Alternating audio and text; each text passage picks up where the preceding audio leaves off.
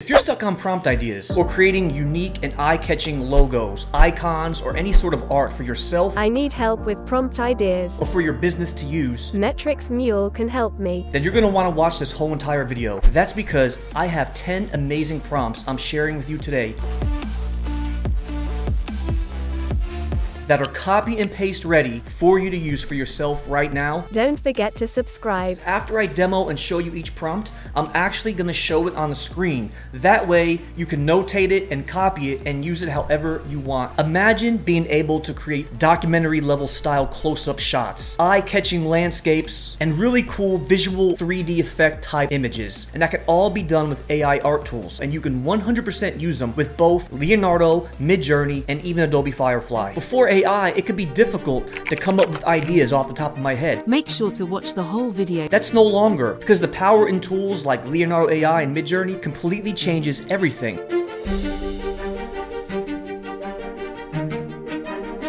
Alright, so here's the first prompt I'm going to show you guys. It's called hologram. It's very simple. A man or a woman next to a holographic car, ultra translucent, 3D rendering, intricate details, and then do the dash dash S250. And don't forget, like I said, I'll put all these prompts on the screen after I go over each and every one for you guys. And so the first place I started was over here in Midjourney, and then look at this prompt right here. This is exactly what it made for me right here. So this prompt, this did a fantastic job. Open up my browser, and now keep in mind, you can actually replace the word car with anything else that you want.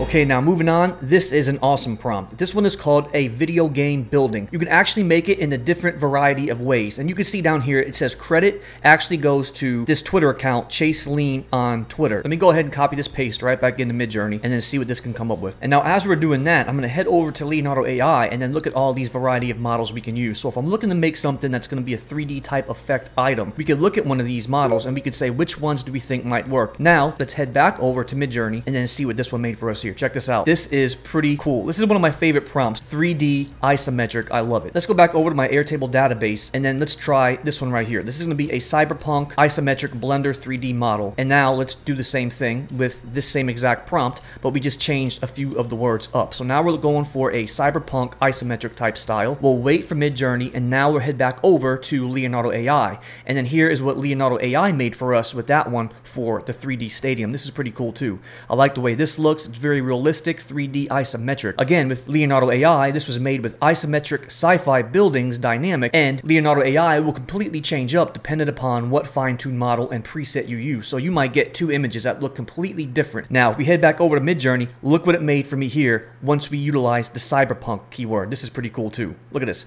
Isometric 3D cyberpunk with the neon futuristic lighting style. Very good job. Okay, so now check this one out. I did one more thing, and this time I used the word Ferris wheel with the colors red. Look at this right here. This looks so cool in Midjourney. 3D isometric 3D rendering. I love this right here. This one was done with the same exact prompt, but as you can see over here, I used the words Ferris wheel, red, and chrome silver. Very impressive. Love this one right here.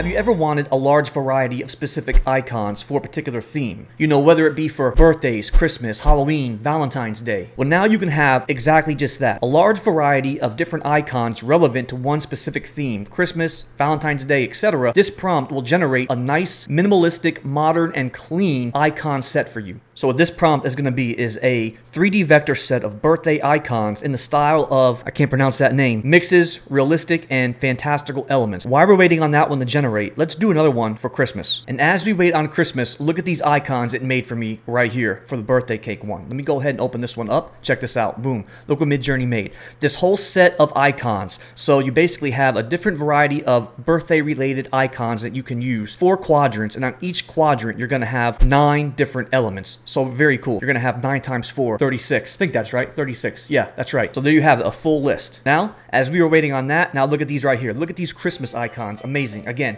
you're going to have four different quadrants, 9 in each square, which gives you now 36 variety icons for Christmas related decorations. This is very cool too. And so with Halloween coming up, let's do one more for Halloween. Here are the Halloween style icons that I did in Midjourney with the same exact prompt. So all you have to do is basically just change up the keyword or the holiday or the occasion to the new occasion that you want. So I just use the same exact prompt, and instead of using Christmas or birthday, I just change it up to Halloween.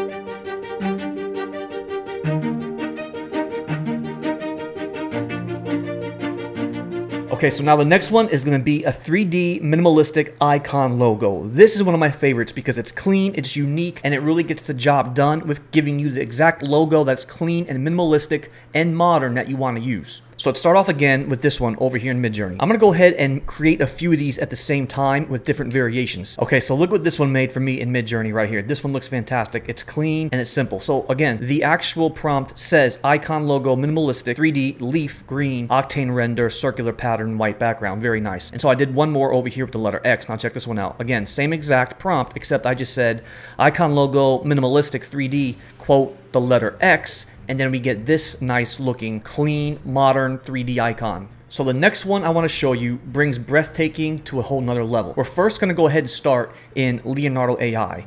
And then you can see at the top, I actually pasted the prompt in. It's simple. Breathtaking landscape shot, Bora Bora Islands, AR32 style RAW. Now check this out. This is perfect. And this is actually created within the new Leonardo Photo Real. And I can change it up a little bit by going cinematic, creative, etc. And so one of my favorites is if I choose RPG V5 and actually choose the photography alchemy preset, this is going to generate some incredible looking, breathtaking scenes. Look at that right there. That was beautiful. That's beautifully done. Again, this is in Bora Bora. And this actual model in Leonardo AI, this one was was made on Photoreal Creative, and so you could see the difference and variations between Cinematic, Creative, and now this one up here. This one at the very top, same exact prompt, RPG V5 with the Photography Alchemy preset, and then look at this right here. This looks great. And then now when I use this one in Midjourney, look what this gave me right here. Now this one is very impressive as well. This is going to be the same scenic landscape Bora Bora, and so keep in mind that you can also replace Bora Bora or any sort of location with what you want. A desert type environment, mountainous regions, or any other landscape or popular destination that you want to try as these ones that you see in Bora Bora. So this one's fantastic. One of my favorites for scenic landscape. So this next one I'm going to show you guys is really cool too. And this one is a matrix dot drawing dog computer generated aesthetics.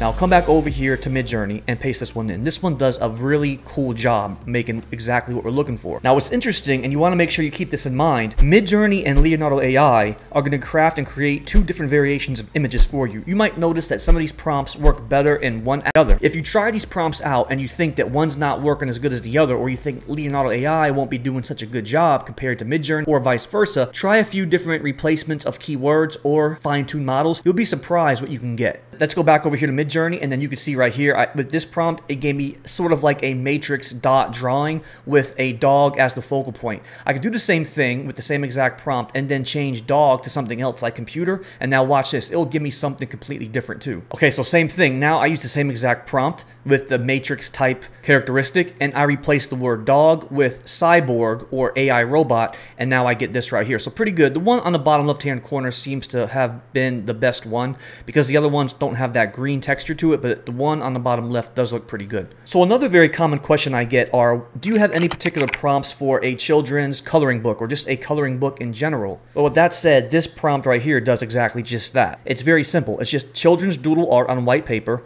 representing art for a coloring book, vector black and white. And so we'll use the same exact prompt. We'll head over here into Leonardo AI, and then here's what this created for me right here. Not a bad job, but again, I chose the wrong fine-tuned model. But then if I come back over here into Midjourney, you could see it's going to create me something like this. So this might be a little bit better, different characters, black and white, and this can serve as a coloring book. Now keep in mind, this type of coloring book will turn out really good if you give it a little bit more detail and characteristics of exactly what you're looking for. So in this case, with this prompt over here, it's just quite simple. It's a children's doodle art on white paper representing art for a coloring book. Okay, now this one is very cool over here. This one is going to be a very close-up documentary style type of photo. It's going to be very hyper and photorealistic. The time I saw this, I was very impressed with how this turned out. Let's go ahead and utilize Midjourney and see what it can come up with here. I'll go back to Leonardo AI, and this time I'm going to use Photo Real Cinematic and then type in this prompt right here and then see what this can come up with here. Okay, so I have the first one done in Leonardo AI. This one looks pretty good. So it's a close-up documentary shot, not bad. And now the one I'm more impressed with is this one right here. This was done, again, Leonardo AI, but a completely different fine-tuned model. Really good. Look how close up this is. The eyes, the texture. You could see the reflection of the light on her forehead. And so you could see with two different fine-tuned models, this one down here is photoreal cinematic, and then this one up here, in my opinion, actually did a little bit of a better job. So let's go back over to Midjourney and look at this one right here. Look at this one. This one's fantastic. And then we could see these really turned out quite well. They all did a very good job, except for I would say the top right-hand corner, but this one right here. It looks like she's looking straight at you, but this one's fantastic. I'll scroll down and then look at these two at the bottom. Specifically, look at the one on the left-hand side. This, in fact, might be my favorite one I've made so far. You have the eyes, again, looking straight at you, and then you have the water drops on her forehead and then on her cheeks. So again, that prompt was quite simple. Close-up documentary photography, woman in the style of a candid imperfection, no makeup. So very good job. Okay, now let's go back to another very fun one. This one, again, is simple. A metallic your object in the style of multifaceted geometry. Now let's just go ahead and copy this prompt right here. This is pretty cool. And you could type in where it says your object, type it in with anything else that you want. So I'm staying in Midjourney and I'll go ahead and put this command in. My object, I'm gonna put a uh, supercar. Now boom, look at that one in Midjourney right here. Beautiful, metallic glow, has that golden, futuristic neon look, pretty good, and it has definitely that metallic sort of characteristic to it.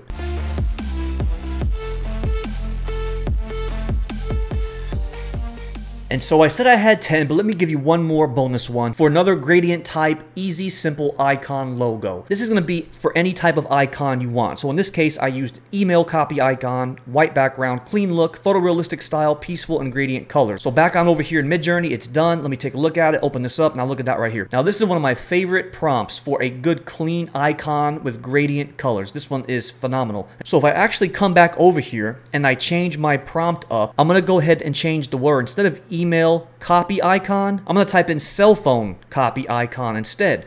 And so we'll get the same sort of design and look of this email one, but then the icon will completely change and it'll be now for a phone.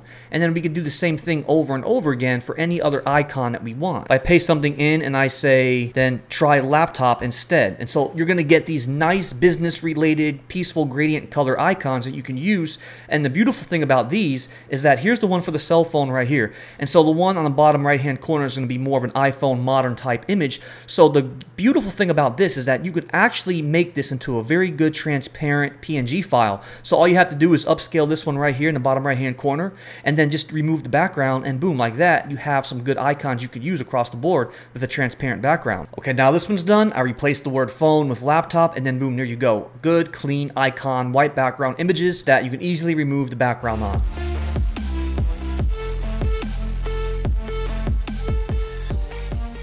There are so many great prompts like this. Today, I just wanted to show you 11, but I have tons of others I'd love to share with you guys. So thank you so much for watching this video, and please don't forget to hit that subscribe button because you'll be the first to know when all these videos come out. But until then, we'll see you next time.